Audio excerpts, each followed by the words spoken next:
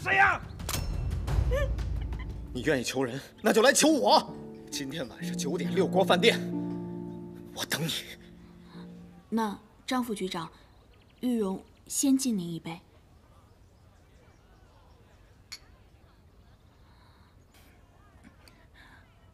那我我丈夫的事儿还有救吗？这个嘛，不是完全没有可能啊，但是呢，也不容易啊。福二爷，哎，要不咱们移一步？移？张副局长谈的是机密，你在这儿，张副局长是谈还是不谈呀？有时候办事情啊，是光靠花钱就能解决的。嗯，我不太懂您的意思，请您明示。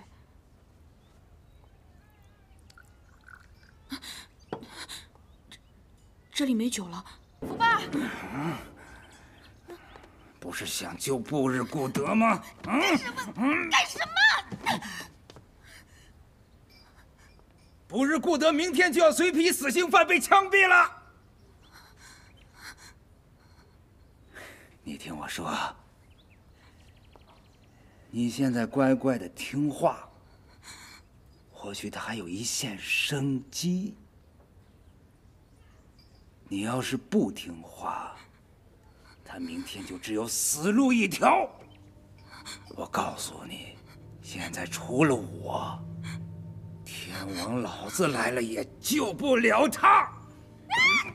干什么？救命啊！救命！谁呀？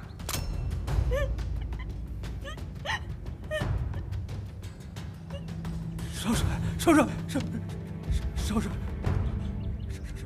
少帅饶命！少帅饶命！少帅饶命！不想吃枪子儿的话，就把今天的事给我咽到肚子里去。好，好，好，小的明白，小的明白，滚！哎，好，好。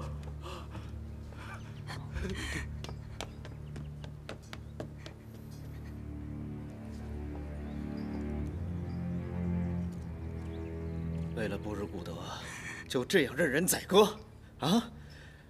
连自己的清白都不要了？清白？你认为我不清白？哪个清白的女人会做这样的事儿？是，我是不清白。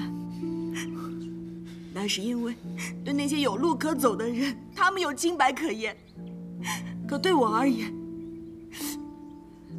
没有什么事情比救人更重要。不如顾德就这么重要？你什么都愿意牺牲是吗？他是我的亲人，我不能眼睁睁的看着他去送死啊！好，你愿意求人，那就来求我。你不想他死，今天晚上九点六国饭店，我等你。